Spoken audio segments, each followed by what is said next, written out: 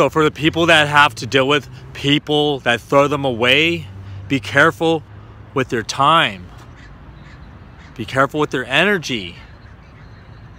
Think about the amount of effort that you put into other people.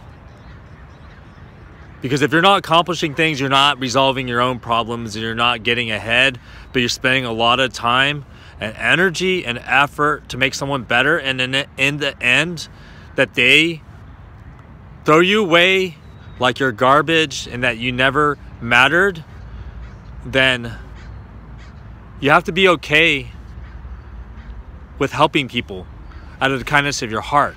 And if they do treat you that way,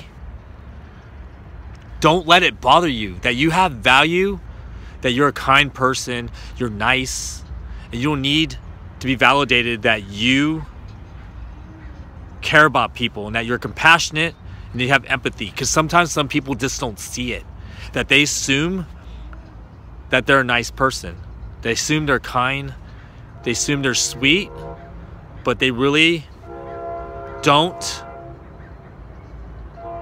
see that. They don't see that they're not those things.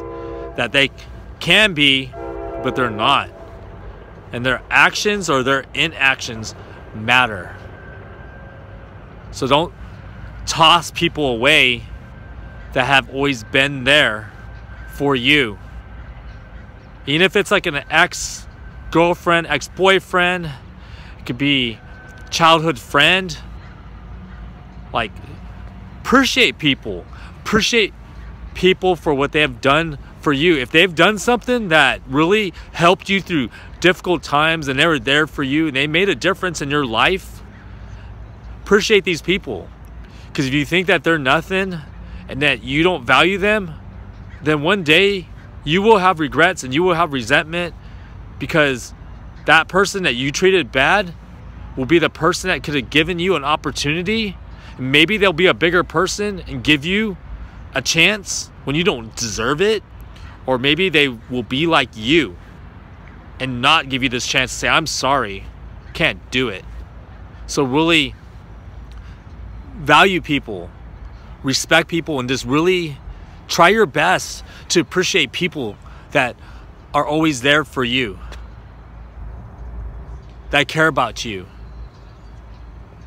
And if we start to think that they have expectations or they have guarantees, and that they're wanting to do something to help us because they are expecting something back and they need something from you, then we're going to get ourselves in daily traps. We're going to be self sabotaging and that we don't deserve to achieve things if we don't respect people. Because assuming is negative. If we're assuming that we are thinking what we think that person is thinking, that we're assuming something. Oh, I assumed that you were like this.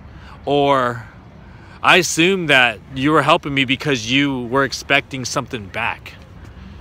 And that I assumed you were this type of person. But when you have the facts, the facts don't lie when you have exposure, you have connection, you spent time with someone, that those facts don't lie. The proof is in the pudding that is there. Is there.